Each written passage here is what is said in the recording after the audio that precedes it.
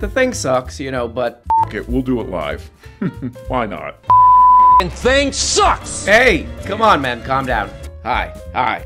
Well, guys, Well, guys, Robbie Bree, Robbie Bree, Lana Del Rey, praise God to all of you. God bless you.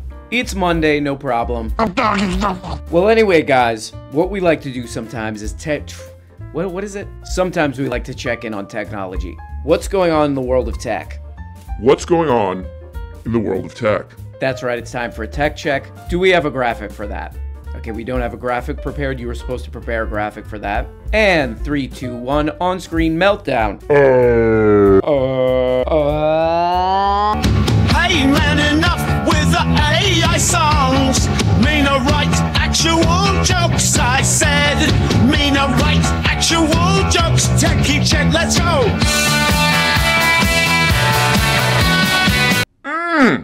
Are we back? Are we back from the graphic? no tech check is complete without an update on what's going on with what the hell is the goddamn app called? TikTok. You know, I still don't know what the hell this thing is. I've asked many young people, you know, what the hell is this thing? Is it a porno? What? Still haven't got a straight answer on that one. Tiki. Tiki tock, what is it? Is that a porno or something? Get those damn kids off that ticky ticky tick ticky ticky. Hey! There's a ah! Clip going around related to the Tiki TikTok ban. Uh, let's roll that. But why is this happening? Right. Well, let's look at where young people are getting their news. No problem. Nearly a third of eight adults 18 to 29, Adult these baby. young people in the U.S., are regularly getting their news exclusively from TikTok. Never heard of it. Pro-Palestinian and Hamas, uh, pro-Hamas hashtags are generating 50 times the views on TikTok right now. The Chinese Communist Party is doing this on purpose. Never heard of them. They are pushing this racist agenda with the intention of undermining our democratic values. Those son of a bitch. And if you look Okay, so what the hell is this guy's name? No, come on. Senator Pete Ricketts. Senator Pete. Toilets. Come on.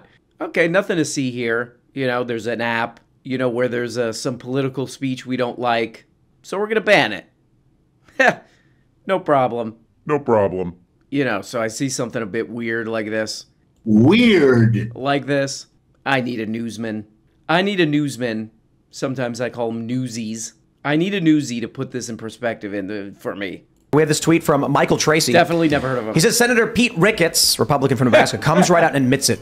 They're about to ban TikTok because, quote, young people are getting their news from the app and pro Palestinian hashtags generate lots of views. Oh. He says Chinese communists are pushing this racist agenda to undermine America. now, before I, true. let me play the clip now of Senator Pete Ricketts. Ricketts. Okay. Do we have the audio? It's not playing. No, okay. Uh, this just died. It just crashed. Yeah, let's, I don't know. They just stopped working. let's get that working. I will fix it. go ahead. I think if I do that, it'll work. Let's Go see if that works. Hold on, let me check the audio real quick. Oh, there it goes. Oh man, our audio's really twitching and twisting. okay. So this is gonna be an easy one for our newsmen here. You know, you know, generally you shouldn't try to ban news sources because they're saying things. They're saying information that you don't like. This is why I think there's a huge problem with TikTok. Oh, thank God. Not that I think the current administration would do anything positive with it. It's better that it's in the hands of the U.S. than China, despite Okay. the fact that U.S. Uh, like the Biden administration is bad and woke. But you look at the stuff that it's promoting, and Right. it's chaotic uh, cultural destruction. Yeah, Absolutely. It, it- you know, there was a Going story I covered. Wait, hold on a second. Whoa, whoa. Sounds like you agree with that guy, that Ricketts guy. Ricketts. Uh, Can you please clarify what you just said with a story, please? There was a story I covered the other day about a, a mother who lets her kids eat dessert whenever they want, like they can have whatever food they want. Let's hear more about uh, it. The headline was her husband left her after he caught their daughter eating a stick of butter. when he complained about it, the mother was like, That daughter was going like this.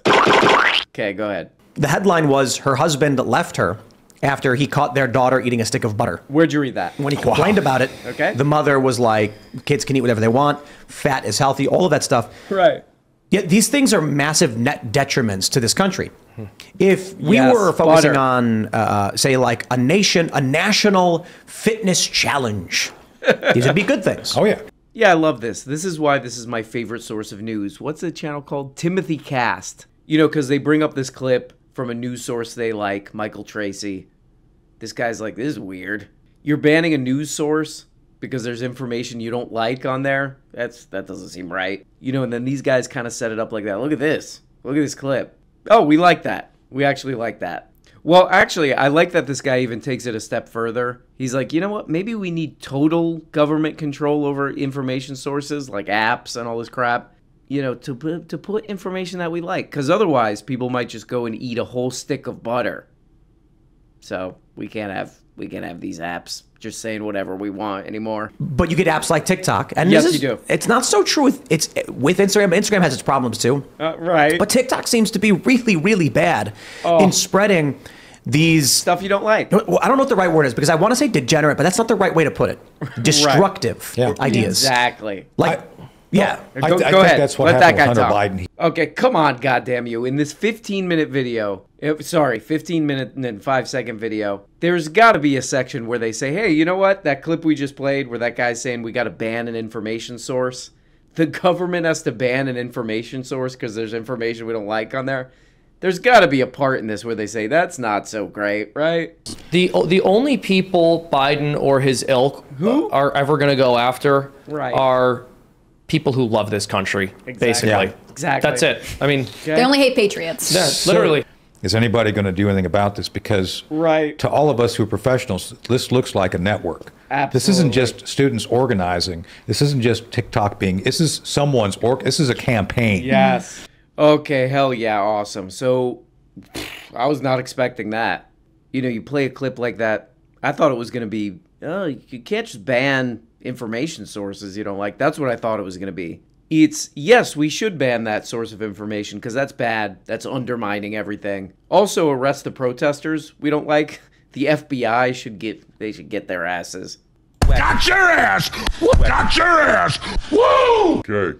I also like that that guy's like they're only gonna go after people like us, people who love what patriot patriotism, patriot patriosity. The the only people Biden or his ilk who are ever going to go after Never are people who love this country, basically. Right. That's it. I mean, They only hate Yeah, I like this because uh, who do these guys think signed the thing to ban TikTok? Which is funny because the Biden uh, whatever campaign is still posting on TikTok. Here they posted a TikTok today. Here are the top comments.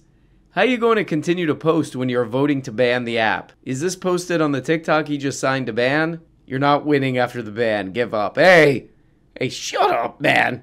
Hey, man, shut up. What do you get when you combine state of the art robot technology and fire? Hey, you better not, man. Well, Jim, I'm so glad you asked. Obviously, it is the world's first.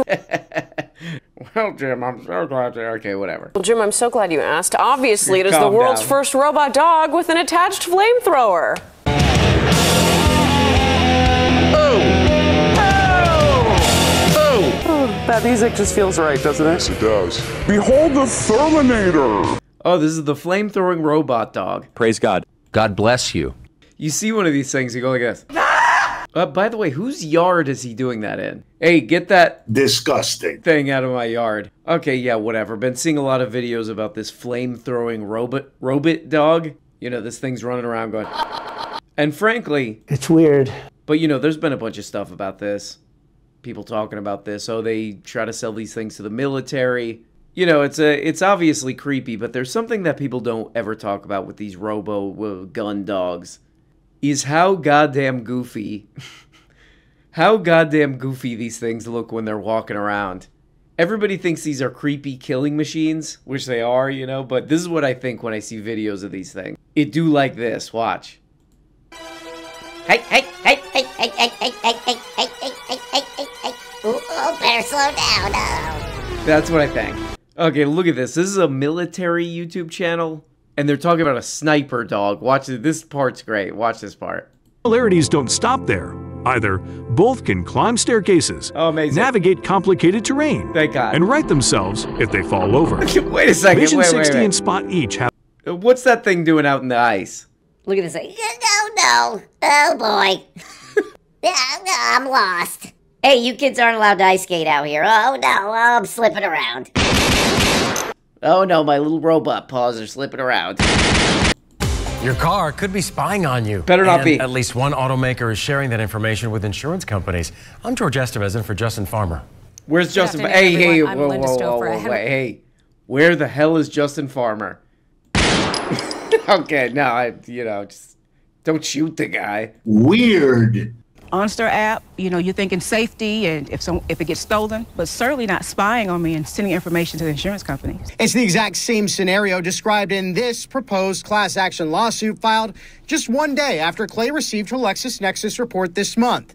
Clay requested the report because her insurance had gone up 80%. And when she tried to shop around, an insurance broker sent a denial letter and suggested she check her LexisNexis records to see why. Okay, great. This is something I've been hearing a lot people talking about. You know, your car's spying on you, man. You know, look at your car over there. And I look at my car, I'm like, hey, don't look at me. You know, I say that to my car. Cars nowadays are computer cars. You know, as a Cybertruck owner myself, I know about computer cars, okay?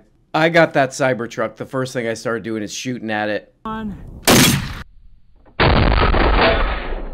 Okay, funny story. It turns out I did not own a Cybertruck. It's a 1999 RAV4.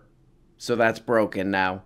Uh, what was I just talking about? Oh, yeah. People are always talking about, oh, the car's spying on you.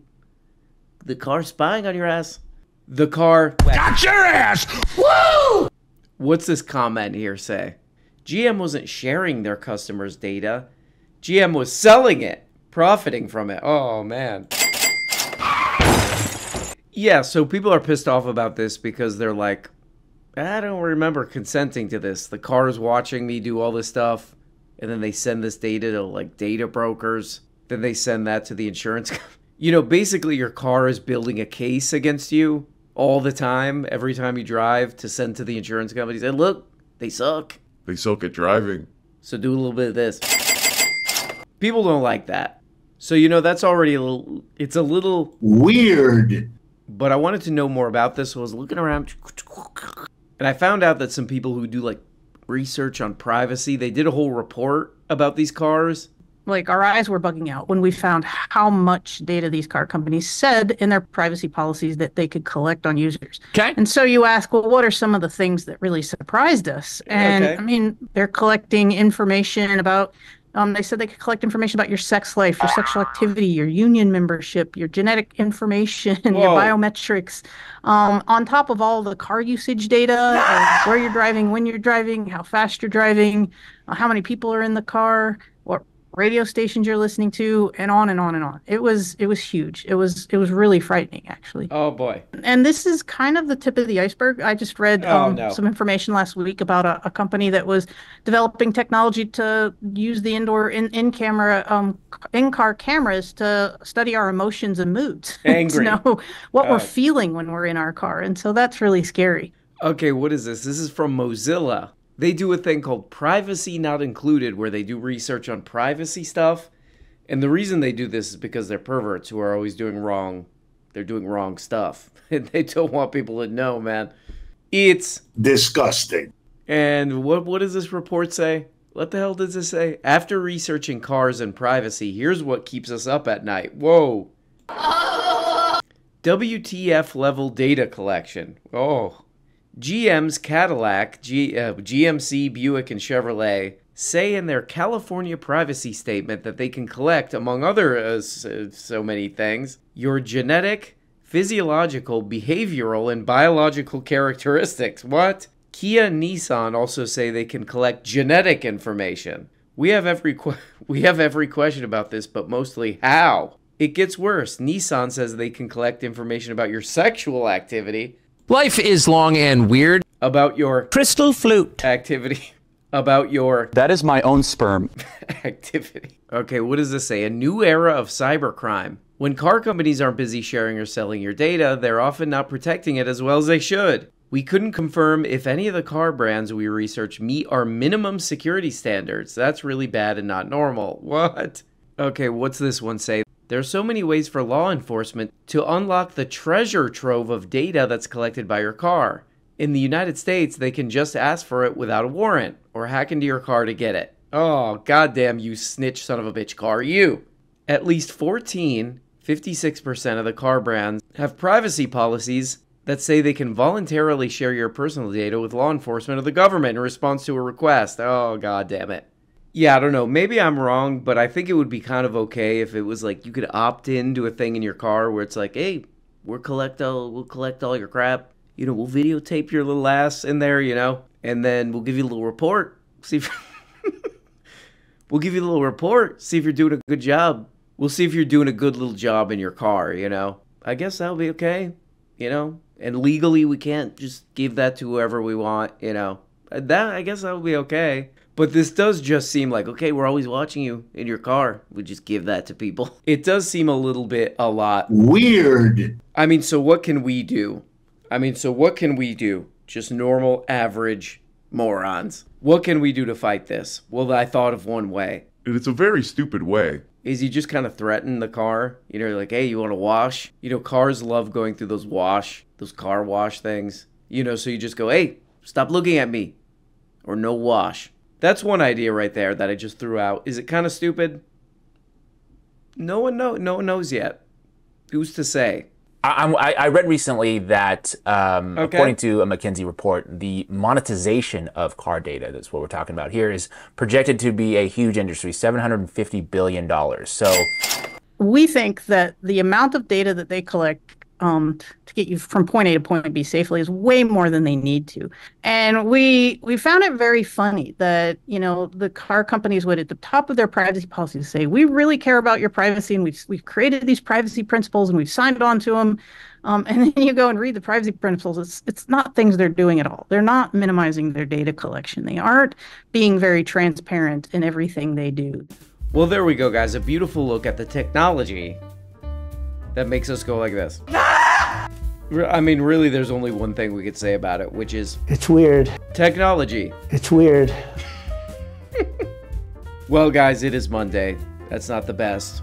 But even though it's Monday, we're still out here being disgusting and going like this. Oh. Hope you're doing good. Talk to you later. Bye bye. I might just walk out of here and think I'm gonna take about a week off. Guys! You're not getting the whole show, okay? Please, for Christ's sake, become a member on Patreon, okay? For as little as two bones. When you join on Patreon for as little as two stupid little bones, you get the Tuesday, Thursday shows every week, the Quaments program where you can ask questions or tell stories or do whatever, and it, it's a whole show. Behind the scenes crap. All for a two putrid little bones, that's it. Just click this link, here it is, right there. See it? Yep. Okay. I'm in hell. And if you really want to support the wretched show, people call it because they're satanic, they're sick, you could become a producer for only 25 bones. These beautiful people here are they God God Without this producers, it's over, man. It's it's done. Do you think we can do the show without the producers? Okay? Cuz if you do think that you got another thing coming, my man. You got a totally different thing coming. Without the producers, it is good it is as good as over. Hello? Is anyone listening to me? Please answer. I'll wait. Please answer. Our hearts and our toilets are forever endowed unto the producers from which all light comes. Praise God. Praise God. It really is amazing to have such beautiful producers, and if you want to do it, oh my God, I, you know, I don't know, I don't even know what to say. you know, I love the producers so much that I wrote a little song about them. Here we go. Hit it. Without the producers, we're going straight to hell. And we'll be their national team for all eternity. And then we'll go down to the lower level of hell where you can't get out. Not even for good, good behavior slash deeds. Go, go down there.